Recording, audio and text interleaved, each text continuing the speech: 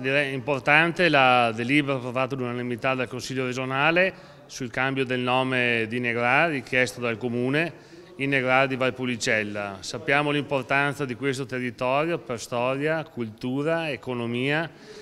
per cui veramente l'abbiamo votata eh, all'unanimità perché è un segnale di vicinanza al territorio